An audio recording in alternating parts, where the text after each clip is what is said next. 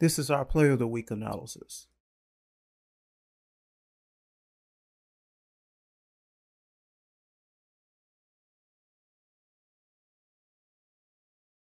The first thing wrong in this play is that we have two trail officials, which means we missed a rotation on the other end of the floor. Our coverages are thrown off, and we have two sets of eyes on the primary ball matchup. Now we have the ball handler dribbler approaching the secondary defender who has obtained legal guard position. Let's see if he maintains legal guard position throughout the rest of this play. He retreats, which is legal.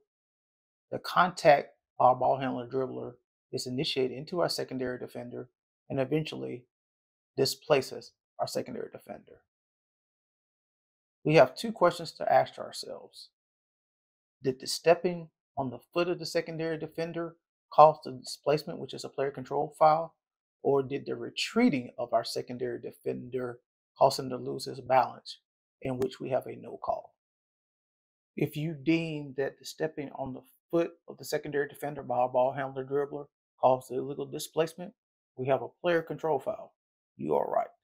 If you deem that the retreating secondary defender started to lose his balance prior to the stepping on the foot, you also would be correct.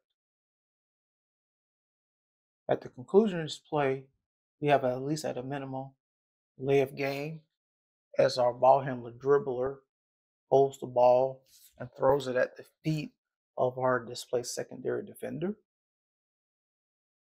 At maximum, we have a technical foul for taunting or talking trash, however you want to frame it.